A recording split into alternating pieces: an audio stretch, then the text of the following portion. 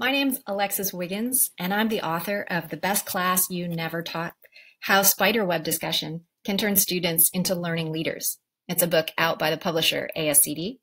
And I wrote it a few years ago to highlight the most important tool I've ever found for teaching in the classroom. It transformed my teaching and my classroom culture over a decade ago when I discovered it. And I've been honing it ever since and sharing it with educators all over the world, just like you. So I want to take you a little bit today through the how and why spiderweb discussion is so powerful. And I like to start with a question, which is this one What is the ultimate purpose of school based education? When I run workshops, I often start with this question, and I have people come up with this individually in groups. So I'm just going to give you a second to think through this question for yourself right now. If you had to write down on a piece of paper, what is the ultimate purpose of school based education? Go ahead and bang out a sentence that you think would answer that question accurately for you. So, if you thought about it a little bit, um, you probably came up with something pretty idealistic, something that connects with your vision of why you got into education in the first place. And the truth is, when I do this in workshops all over the world with teachers in all kinds of schools, I've never once, not once in years of presenting, ever had anyone say, to get a five on the AP, or to get a 1600 on the SATs, or to get admission to this particular college. And the reason for that is that we know that is not the ultimate purpose of school based education. Teachers often say lofty, visionary things like to give students a love for learning so that they continue learning forever, to inspire, to awake the curiosity and have it continue for life, to give students the skills, content, and inspiration for learning that they'll need to carry them through the rest of their academic careers and their professional careers. These are great ideals and they're great answers to this question. And in general, it's really interesting because if we look at our answers to this question and then we reflect on our daily teaching practices for all sorts of good reasons, there can often be a disconnect. We often get stuck teaching to the test, racing against the clock with a curriculum we've been handed down, or worrying about particular standards or state tests that are hovering overhead like some kind of looming deadline that we can't escape But those really don't align with our answer to this question. So I just like to start with this question to have it firmly in mind. And sometimes I even recommend that you, you know, hone hone this question to really make hone your answer to really make it be what you you really believe through and through as an educator and then tack it up behind your desk where you're going to see it every day as a reminder, a kind of through line to everything you do um, to infuse your teaching with that. So I just want to start with that because I think it's an important baseline for us to think about as we think about what it means to truly learn. What does the world want? We're producing students, you know, pre K through 16 and beyond, that will go off into the world and help shape it and change it for all of us and generations to come. So, what does the world actually want? those of us working in K to 12 education, um, you know, we're often sort of guessing as to what we think colleges and careers are really looking for. And we're not always using the most informed stances to answer this question. What does the world want from us? What does the world want from our graduates? What do they need in high school graduates who are ready for, for the next stage? Well, when I consider that question, I'm struck by an article I read a couple years ago about my son's favorite basketball team, the Golden State Warriors. And um, they had a really interesting halftime routine that struck me. Steve Kerr, the the longtime championship coach, um, has a halftime routine, um, and you can just read the quote from the New York Times article where I read about it right here.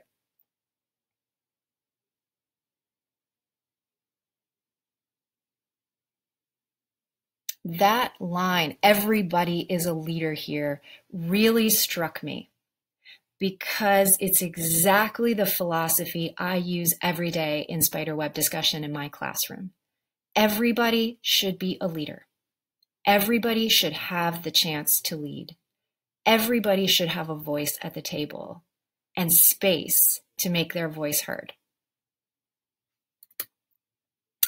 I often think about uh, a really interesting um, study that came out of um, a Harvard economist's work, uh, David Deming. Um, this came out several years ago now, and he had studied for a couple decades, a few decades really, um, the change in share of jobs from 1980 to 2012. And he found some interesting things that I think are relevant to all of us trying to answer that question what does the world want? And basically, you can dig into the, the study itself and the articles that were written about it. But basically, he saw that um, jobs that were technical only in nature declined. Now, we might guess that, um, you know, technical jobs that were not high skilled, uh, for example, engineers, um, you know, things like auto mechanics, truck drivers, laborers, welders, those jobs might you know, we might understand why they're in decline as there's more and more automation, more and more robots doing things that humans used to do. But what he found that was really interesting, it wasn't only automated jobs that really were um, being lost. It was automated jobs, it was mechanical, technical jobs that didn't re- require interpersonal skills.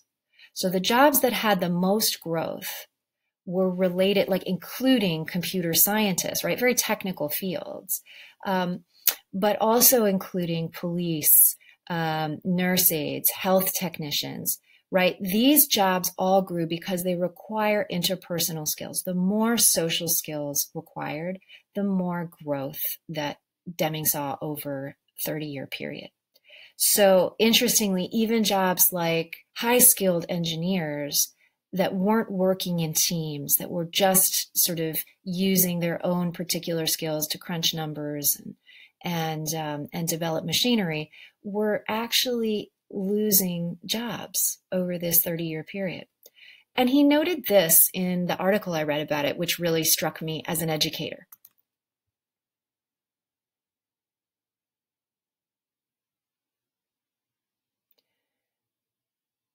This Harvard economist noted that we start schooling with an environment that looks a lot like the real world does.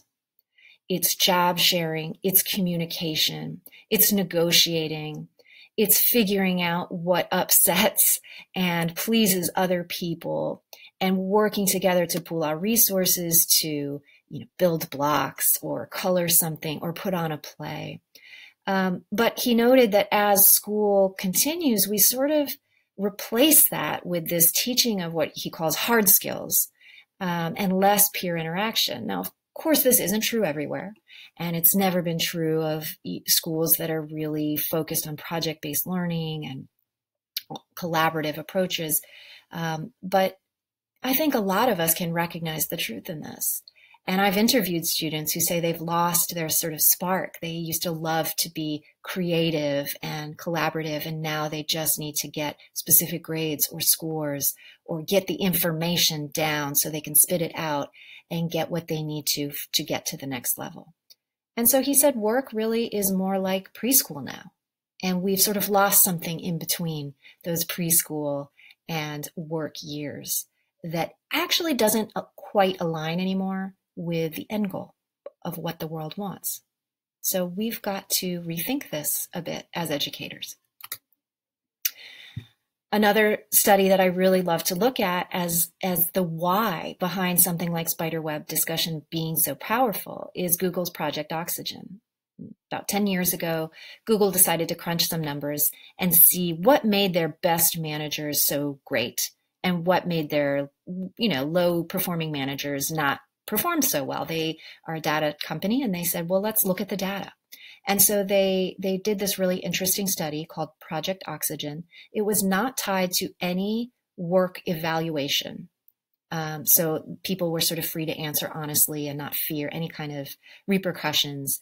Um, so uh, basically, they crunched the numbers and they found eight factors, the big eight, they called them, that led to high performing managers doing well. They found that when managers had these eight qualities, they did better. They led better teams, they had better um, ratings and less turnover in their teams. And so they were deemed really great managers. So here were the eight qualities.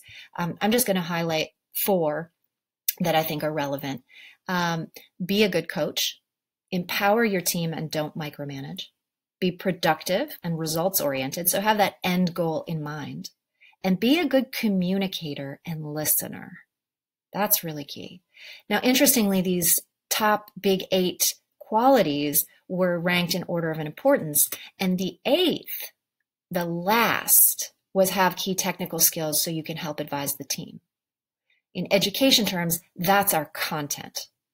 So the least important of the important skills was the content. The seven that came before it were really about teamwork, communication, management skills, interpersonal, soft skills, as Dr. Deming would say. Google also determined there were a couple pitfalls in the worst managers. One of them was having trouble making a transition to the team, too solo a worker, too independent a thinker and worker. So that team skill is really important to success. And spending too little time managing and communicating. That communication piece is key too. And actually, Google was able to target these specific big eight and the pitfalls and make a statistical improvement in the majority of their managers. So that was really a, a, neat sort of finding, not only for Google in the business world, but I think also for education. Soft skills are the most valuable skills in the real world that translate to success, at least according to Google's Project Oxygen. So, what does the world want? We see a little bit of this in some of these studies and outcomes. What do they want? Well, I love this story that I was told by um, Ron Ritchhart, uh, professor of education at Harvard um, Education School. And he tells a story about um, Dow Chemical, which runs an internship program um, out in California every summer for the best and the brightest of the area. And they give the students a, a chemistry puzzle to solve a, a problem as part of the application process. And the woman who runs the internship program was very frustrated with the recent crop of students. And she cited to Ron Ritchhart, um, who is part of the Project Zero um, Visible Thinking initiative out of Harvard that you may have heard of. And she was lamenting to him, saying, You know, uh, there was a young man who who was working on the chemistry problem for about 10 minutes and then came out and said, I, I give up. What's the answer? And she said, Young man, we don't solve chemistry problems we know the answer to. That's the real world. We don't have an answer code at the back of the book in the real world. We're actually solving real problems. And that story that Ron Ritchhart told was a, an absolute light bulb moment for me sitting in the audience when I watched him because I realized that most of K to 12 education, at least high school for sure, is asking students to solve problems that we all know the answers to. What would school look like if it was a series of questions and problems that no one knew the answers to. What could the possibilities be if we asked questions and posed problems that really plague all of us about epidemics, climate change, equity, and justice?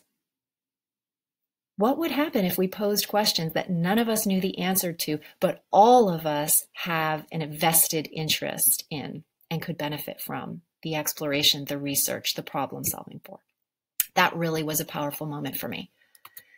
Another story that Ron Ritchhart told that I really liked, that resonated with me as an educator, is a story about a friend of his who had gotten uh, graduated from UC Davis, gotten an internship at Tesla, and was a bit intimidated by all of the other interns there who'd graduated from MIT and Caltech and and he felt like maybe his resume wasn't quite as top notch as, as his peers, but he did the internship. And at the end of the internship, he was the only person who was offered a job at Tesla out of all the interns. And when he was offered the job, he was flattered, but he asked, Why me? There are so many better prepared people here, people who have great pedigrees and, and resumes and experience. Why, why did I get the job? And they replied at Tesla, You asked the best questions. You asked such important questions, questions we haven't been asking ourselves, that we're going to give you an entire team to work with to ask and answer those questions at Tesla. Wow. That's an interesting thing that the world wants. Great question askers. The World Economic Forum every five years comes out with sort of a list of the top skills that the world is looking for. And their latest one, which is several years old now, so they'll probably be updating soon, is the following. We can see how it compares to the previous five years. So in 2015, um, creativity was number 10. But in 2020, the top 10 skills, creativity jumps to number three as a desired skill according to the World Economic Forum uh, report.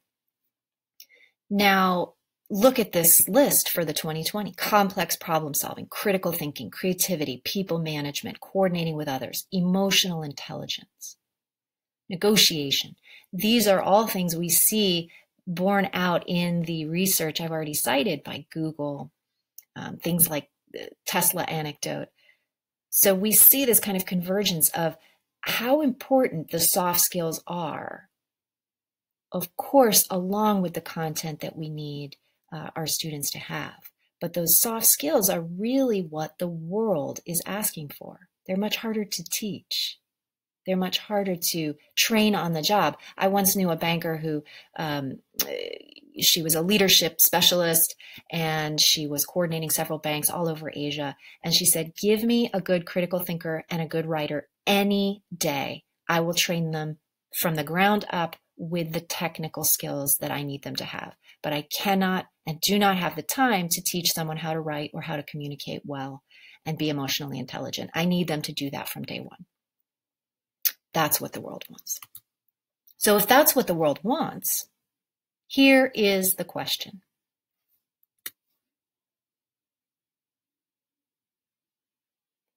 If the world needs excellent communicators, listeners, negotiators, creative thinkers, question askers, what are you and I doing daily?